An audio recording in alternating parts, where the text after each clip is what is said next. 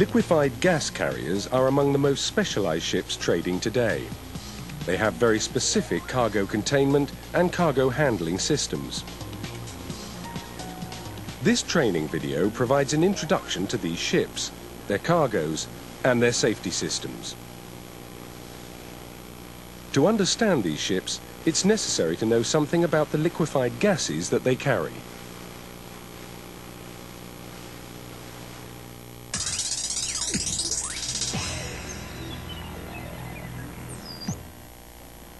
There are several types of these gases.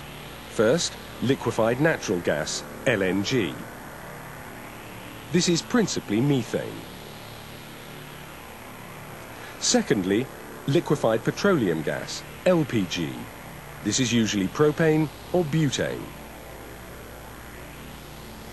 Lastly, chemical gases, ammonia and vinyl chloride monomer, VCM, chlorine and others. This group also includes some hydrocarbon gases such as ethylene, propylene, butylenes and butadiene. Each of these gases has different properties and potential threats to personal safety. These are described in the materials data sheets that you'll find on board. The data sheet for the cargo being carried must be prominently displayed. These gases have different types of ship designed to carry them. One thing they all have in common is that under normal atmospheric temperatures and pressures, all these compounds are gases.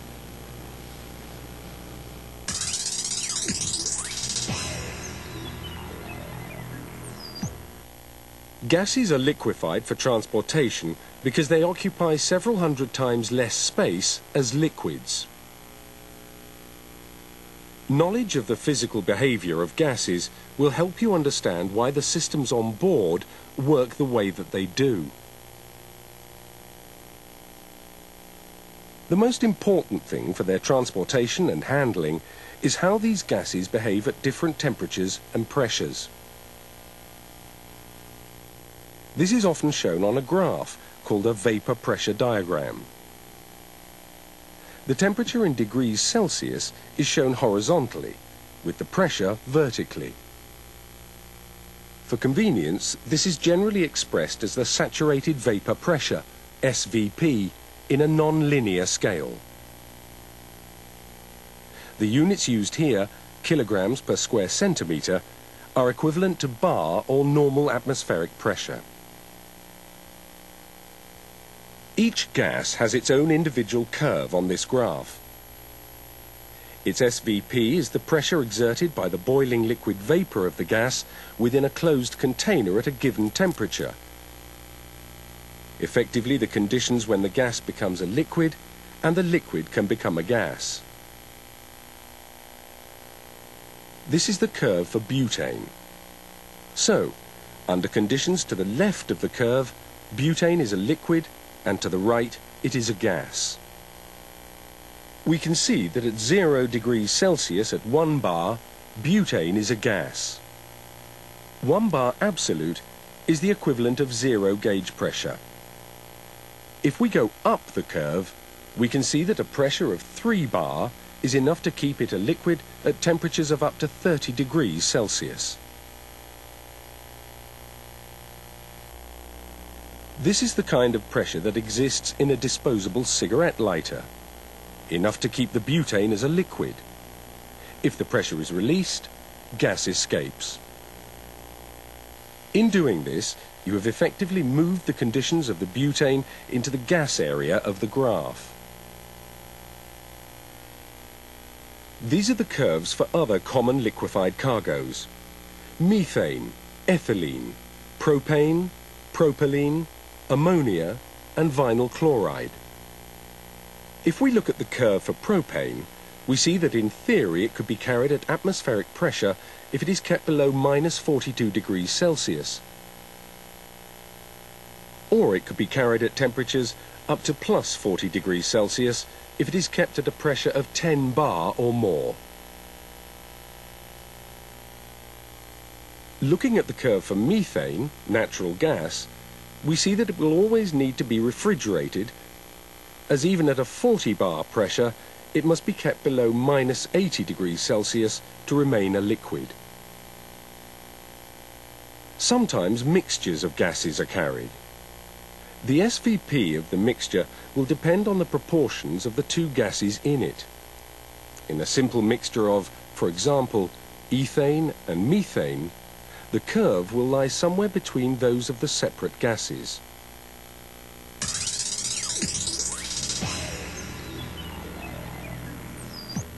As their basic structure shows, gas carriers were developed from oil tankers. But there are many differences.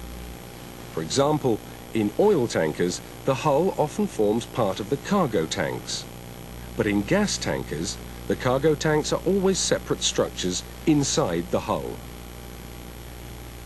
Another important difference is that oil tankers always have inert gas in the vapor space above the cargo. In gas carriers, there is no inert gas or air at the top of the tank, only cargo vapor. The design and building of gas carriers must conform to the gas codes developed by the International Maritime Organization, the IMO. These codes go into great detail about all aspects of the design of the ship and their cargo tanks. The code specifies the maximum pressure and equipment required for different cargoes.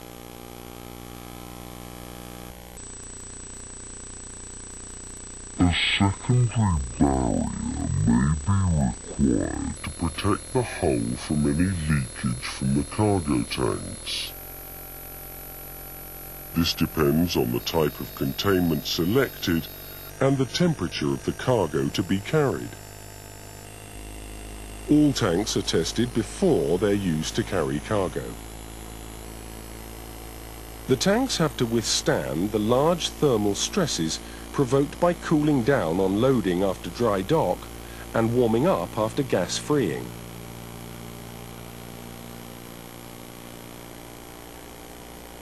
But during cargo and ballast voyages, the tanks are usually kept at low temperature, often by retaining a heel, a small part of the cargo, on board.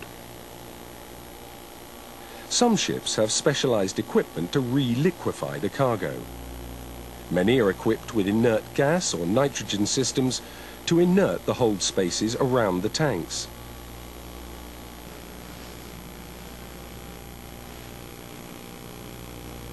Liquefied gas carriers use a variety of cargo containment systems.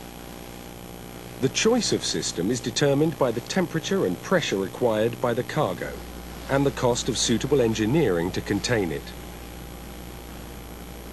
The reactivity of certain chemical gases will restrict the construction materials that can be used.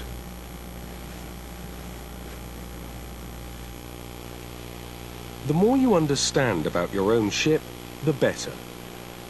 Time spent studying the regulations and how your ship conforms to them, as well as how its special equipment is operated, is time well spent. In this video, we cannot deal with every liquefied gas carrier, only the most common types, starting with fully pressurized ships.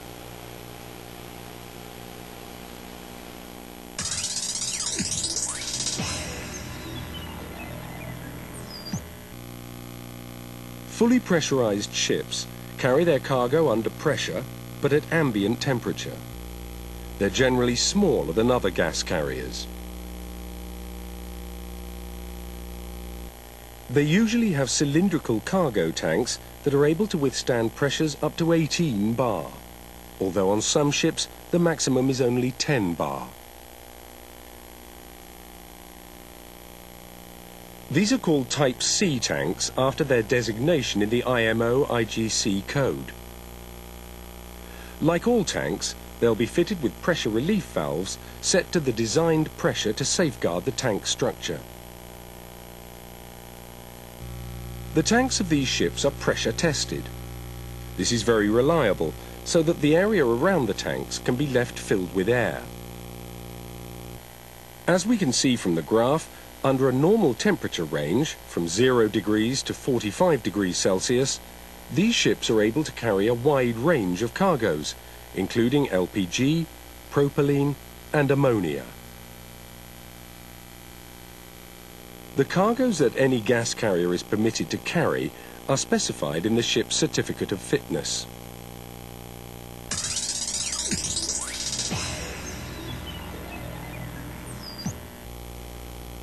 Semi-pressurized ships also have cylindrical or bi-lobe cargo tanks. These usually withstand pressures up to 7 bar.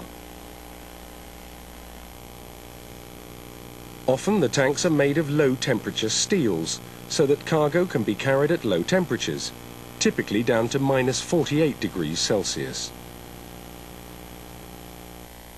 From the graph we can see that these ships are capable of carrying LPG and propylene. However, they cannot carry ethylene or methane. These ships are often equipped with reliquefaction systems, Heat getting into the cargo system through the insulation is removed by gas boiling off the cargo surface. This boil-off gas has its heat removed by the liquefaction plant and is returned to the tanks as liquid.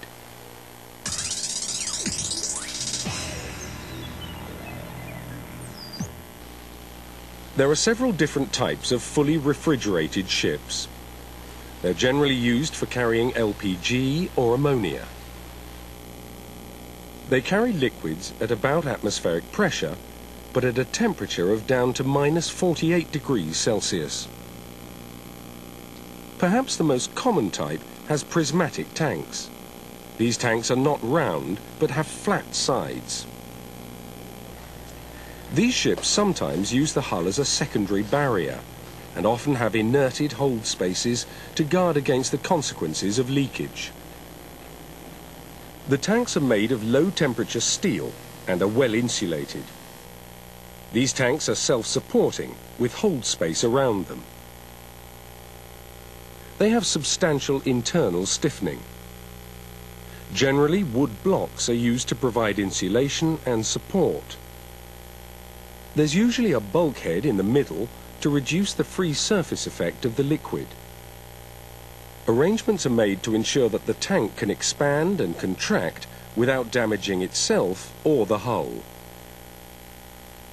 The ship will have a double bottom and a secondary barrier capable of withstanding the low temperature of a cargo leak. If a section of the hull forms part of the secondary barrier, ballast will be carried in the double bottom and in tanks immediately below the deck. If the secondary barrier is a complete inner hull, then ballast is carried between the inner and outer hulls. These ships, like semi-pressurized ships, are fitted with single or multi-stage reliquefaction systems to return any cargo boil-off to the tanks.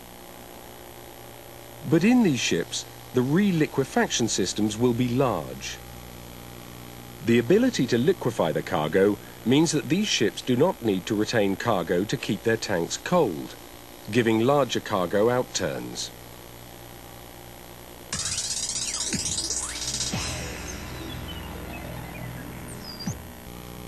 LNG ships are very specialized ships. They carry the liquid methane at about minus 160 degrees Celsius at atmospheric pressure. As this demonstration shows, the structure and the strength of steel are altered by these low temperatures. Steel becomes brittle. So any liquid gas spilling onto the mild steel of the hull or deck could have serious consequences. The tanks are often made of aluminium or special steel. Expensive and specialized engineering is required to carry cargoes at these temperatures. Several different designs have been developed to overcome the challenge.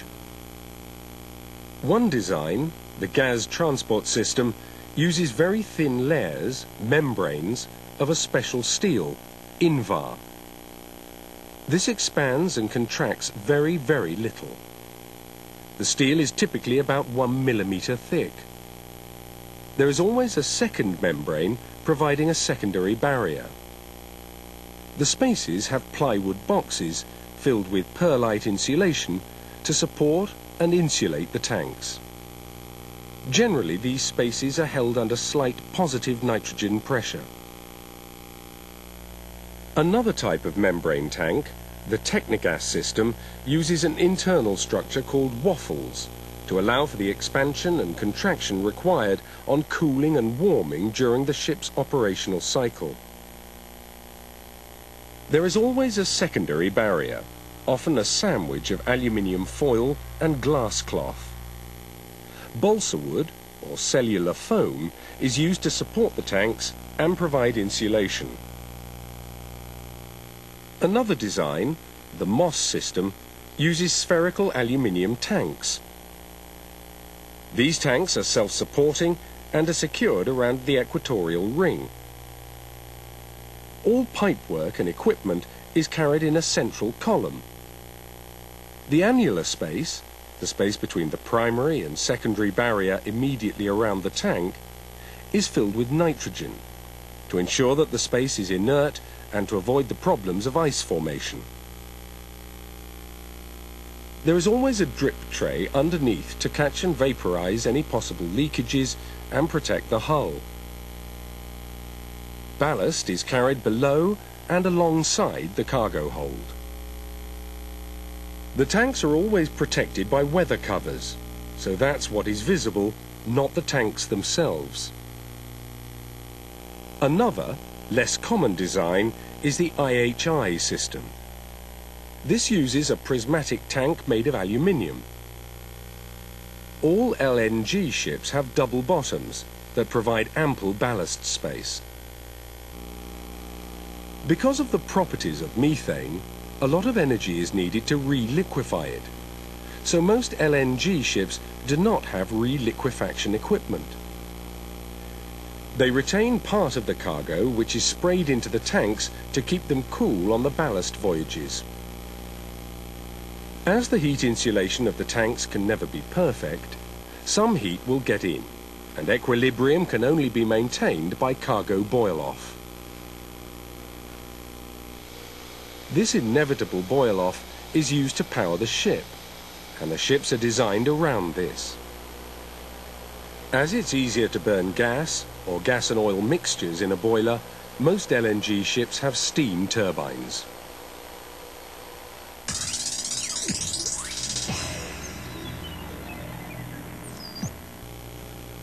Any spillage of liquid cargo will lead to a potentially dangerous gas cloud.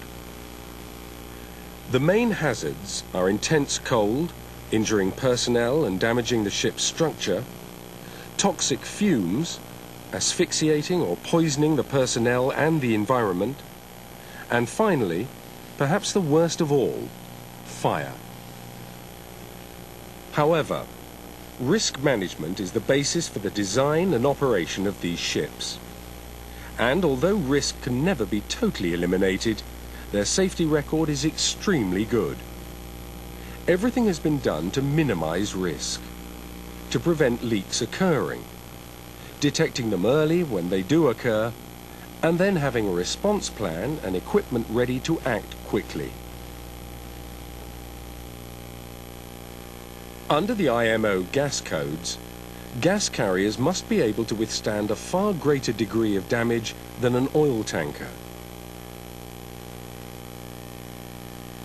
The design of the tanks and the choice of construction material is planned to prevent leakage. Secondary barriers and drip trays are provided to protect the ship.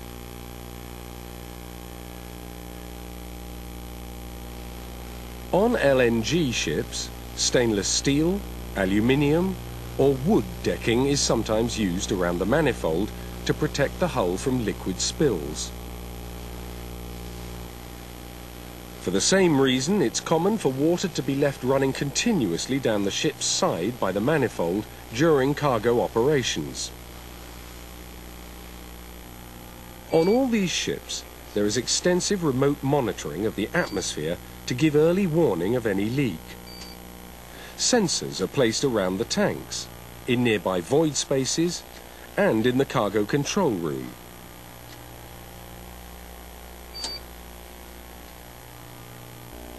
These systems are there for your protection and must be checked and maintained as recommended by the manufacturer.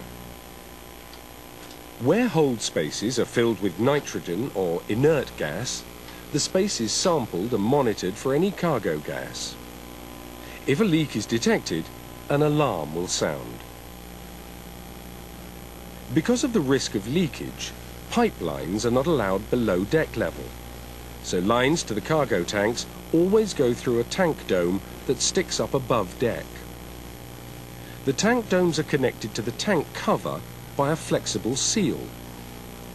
Inside the tanks, there is no oxygen, so the gas cannot ignite. But on leakage, the gas will form a vapor cloud, which will be carried downwind. LPG vapors are heavier than air. Ammonia vapor is lighter than air, and LNG vapor is lighter than air when warm and heavier when cold. These vapors will disperse quickly under windy conditions, but in calm air may accumulate and find their way into machinery spaces or the accommodation. Where cargoes are flammable, many methods are used to reduce the risk of fire. Take the familiar fire triangle. Oxygen is removed by inerting hold spaces. Fuel is removed by secondary containment to contain any leak, and ignition is removed by establishing gas dangerous zones. On all these ships, smoking is forbidden, except in specially designated areas. To keep the risk of ignition down to a minimum, matches and mobile phones, as well as radios and CD players, must not be taken outside the accommodation. During cargo operations, there's always an emergency shutdown system, an ESD, in place. This can be triggered manually or automatically by sensors that detect problems such as high tank levels or ship's drift. If there's a leak, the ESD stops the supply of gas, so starving any fire of fuel. If anyone sees a leak, they must not go near it, but immediately report it to the cargo control room.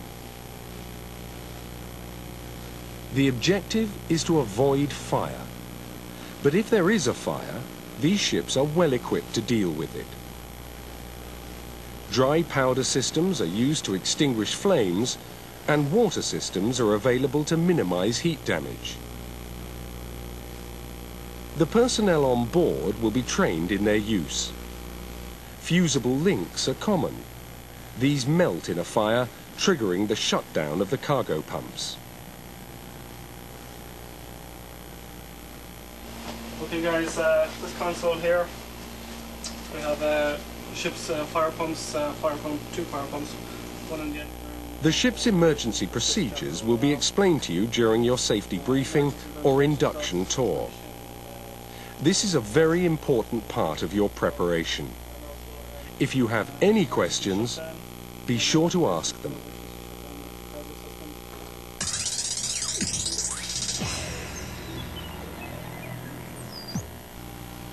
Personal protective equipment must always be worn according to ships and the terminal's regulations.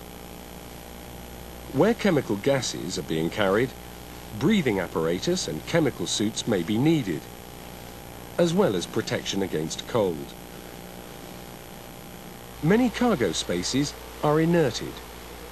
The inert gas may come from an inert gas generator, a nitrogen tank, or a nitrogen generator. You need to know about these systems and be aware of the dangers of inerted spaces. So any entry to enclosed spaces must be carried out according to the company's procedures, as there's a risk both of low oxygen levels and of the presence of cargo gas. Correctly calibrated gas detectors, careful monitoring of the atmosphere, and backup personnel are essential for any entry. The accommodation block is designed as a safe refuge in case of cargo leakage. Personnel can remain inside until it's safe to evacuate. During cargo operations, all doors and ports must be kept closed. The accommodation is protected by a water wall, turned on if there's a fire. On some ships, the lifeboat stations are also protected by water walls should the ship need to be abandoned.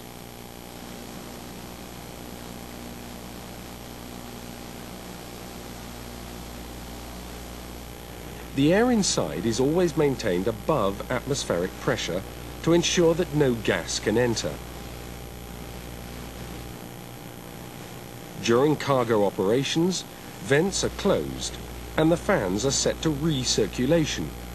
The small amount of fresh air that needs to be drawn in must come from a safe area.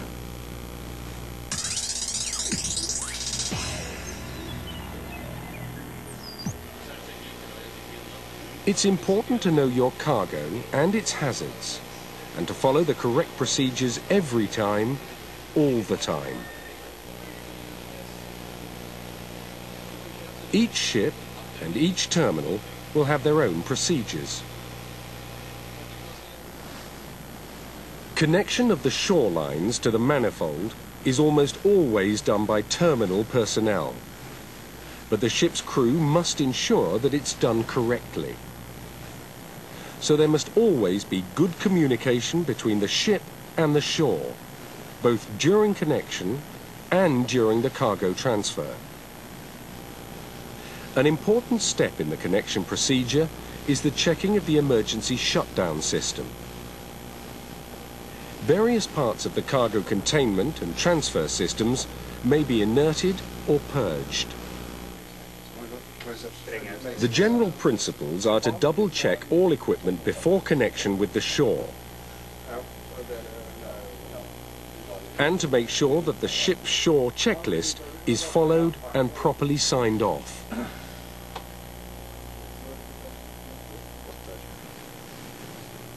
Once connection has been checked, cargo transfer must be started slowly and carefully to allow for contraction and thermal stress on both ship and shore. Always follow the instructions in the operating manuals. Loading or discharging is always closed, with vapour return systems so that no gas escapes to the atmosphere. This video has only been an introduction to liquefied gas carriers. Watch it through again. Make sure that you know your own ship, how it works, and what cargo it carries. Read your company instruction manuals and procedures. Study the other sources of information available on board. The more you understand, the more your own duties will make sense. If you need further information, ask a senior officer. Make sure you know what to do in an emergency. Remember that you have a responsibility for your own safety, the safety of the ship, and the safety of your colleagues. Make sure you always follow the correct procedures and do everything you can to keep your ship safe.